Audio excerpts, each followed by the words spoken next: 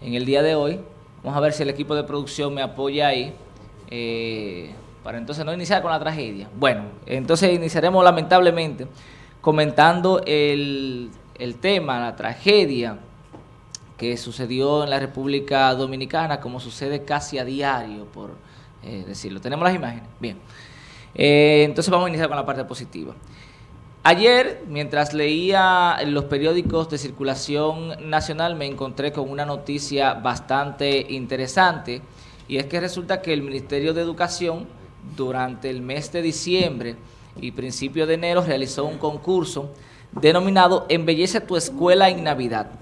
Y oh sorpresa, mientras leía esta información, me encontré con que varios centros educativos de San Francisco de Macorís, que es la ciudad de donde yo soy nativo, eh, ganaron primer, segundo y tercer lugar eh, conjuntamente con, otras, con otros centros a nivel nacional.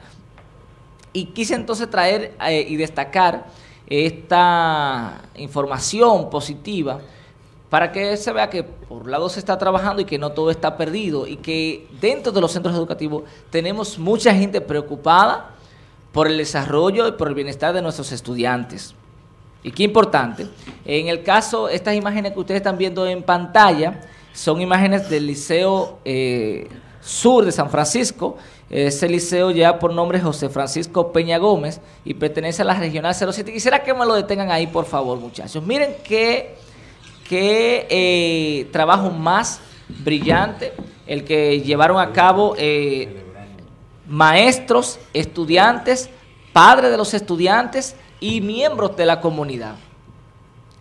¿Qué, ¿De qué se trata específicamente este eh, trabajo? Bueno, el objetivo básicamente, la finalidad del Ministerio de Educación es promover y mantener vivos los valores cristianos, la integridad familiar y la alegría de la Navidad. Y entonces eh, motivaron a que los centros educativos eh, compitieran haciendo decoraciones, utilizando elementos propios, distintivos de cada región y de cada provincia, mediante el uso de materiales reciclables. Pero espérate, espérate, espérate. ¿Qué significa la lata de aceite? Pero ¿cómo va a ser? Pues Amado, ¿cómo tú vas a preguntar en Navidad qué, significa la lata de aceite? Por eso, eh, eh, naturalmente, se significa yo no entiendo. Eh, el jengibre que se hace en plena calle y que se hace en cualquier rincón de la República Dominicana cuando se está en Navidad. Vamos a ver si se puede devolver. O puede ser que sea patrocinador. No, no, no, no, Recuérdate, miren, ah, eh, quiero hacer énfasis con esto y felicitar a los profesores del, liceo, especialmente a, Leonardo Herrera Daco, eh, quien eh, tuvo parte de, la responsabilidad de este trabajo.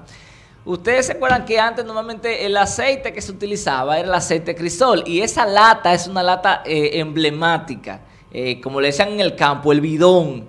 Míralo ahí es emblemático, por eso ellos lo pintaron así, porque era normalmente el aceite que más se consumía, eh, o que se ha consumido en la República Dominicana durante muchísimos años.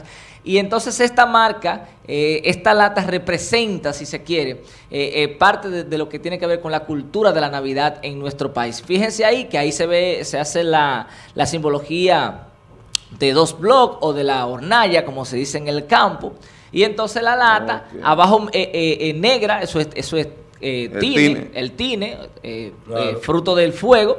Y entonces es un tremendo jengibre, gigante ahí que llevaron... eso fue mediante con un tinaco. Eso es un tinaco, ellos Viejo, que ya... exacto. y le están dando el uso de... Correcto, entonces lo utilizaron, como es, es reciclado, lo utilizaron para decorar el liceo. Así que yo quiero felicitar a todas las personas que, pero no solamente este liceo, también ellos ganaron el primer lugar, pero también en la Regional 07, aquí en San Francisco, ganó segundo lugar el Centro Educativo Los Limones, que quiero felicitarle también, aunque no he visto el trabajo, y también en tercer lugar ganó el Centro eh, Educativo Emilia Concepción, también de la Regional 07, aquí en San Francisco de Macorís. Voy a destacar los elementos eh, ellos decidieron, en el caso del Liceo Sur, este que ustedes están viendo ahí, decidieron trabajar los elementos que vienen a enmarcar lo tradicional, lo folclórico como es regalo, ya lo decíamos, la, lata de jengibre en, los patios, que eso provocaba una reunión de la familia.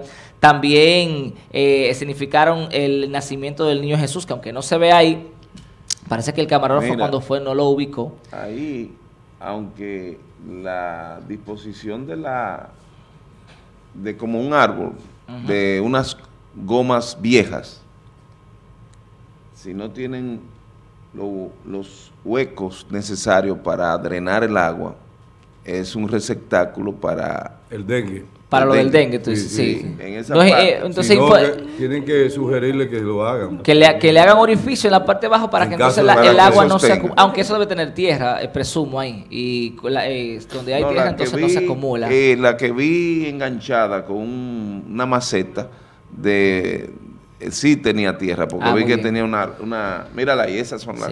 Entonces, quiero felicitar...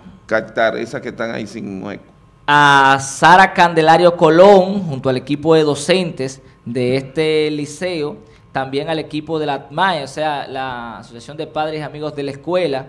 Eh, también felicitar, como ya decía, a, Ramón García, también a Leonardo Herrera, Daco, eh, a la dirección de este liceo y a todas las personas, ¿verdad? A José Antonio Rodríguez, que fue el coordinador de, de la idea central de todo esto.